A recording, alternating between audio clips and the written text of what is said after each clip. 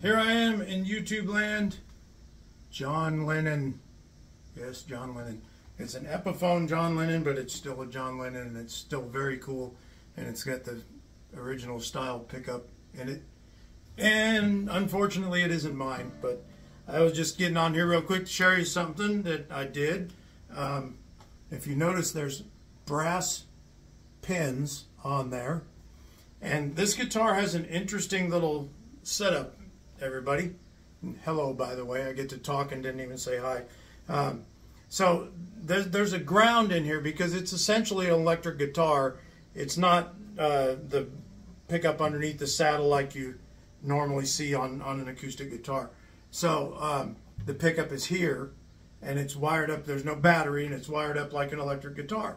Well, for an electric guitar to work properly, it has to have a ground circuit or it'll just buzz like crazy.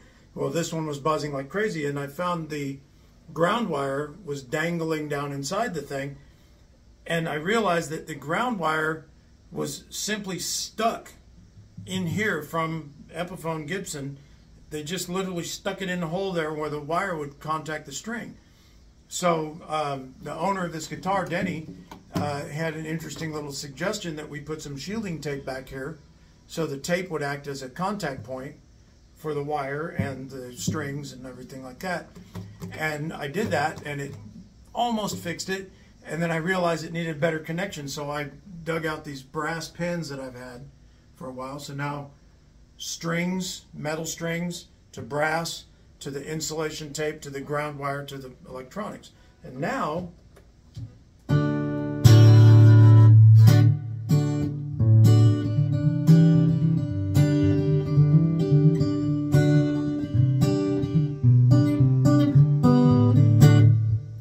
So it's got a little, little buzz still in it, a tiny, tiny bit.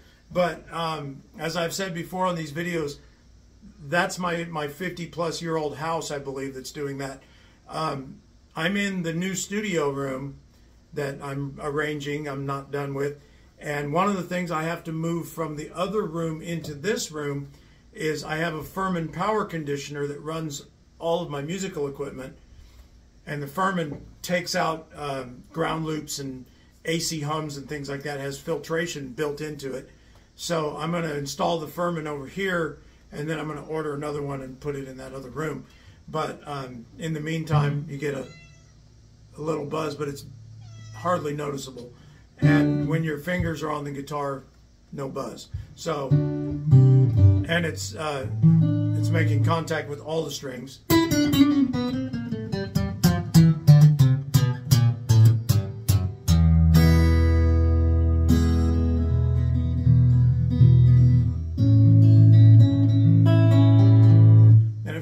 Heard Winky come in here and go meow, meow. Come here, you poo. Come on. Everybody say hi to Winky. Winky likes to have some attention. She says, pay attention to me, world. All the world pay attention to the Winky because I'm in charge of everything. You little poo. Here, get down. I'll come feed you in a minute.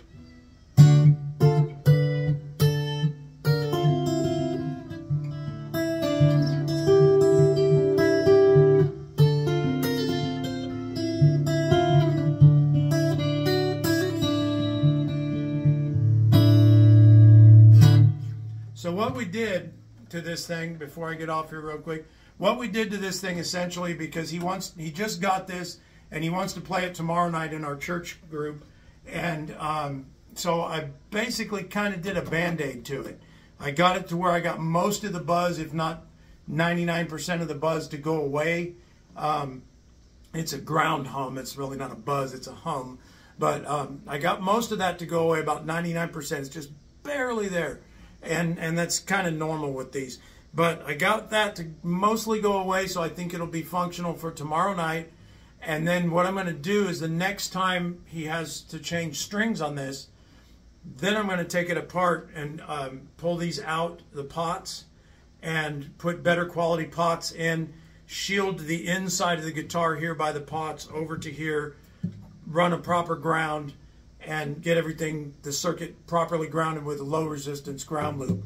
So um, that's going to take a little bit more than just one hours worth of evening time doing it. So this is a little bit of a of a, a band aid. It'll last for probably a long time, but when he changes the strings, I'm going to go in and I'm going to do proper surgery that'll that'll make it correct and make it right.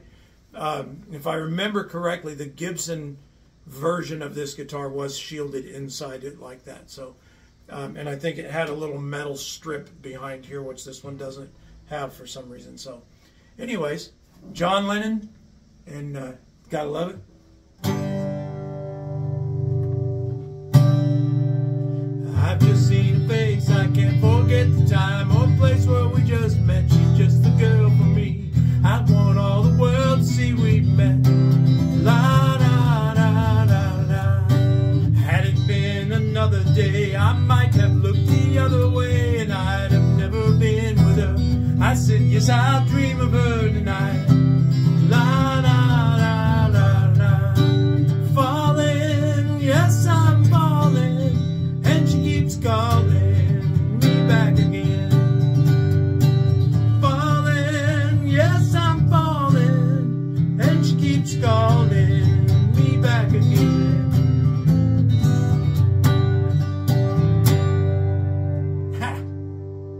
Got to play a little Beatles on the John Lennon guitar. So, from John Lennon's spirit and me and Winky, good night and happy Monday, and we'll see you soon. Bye.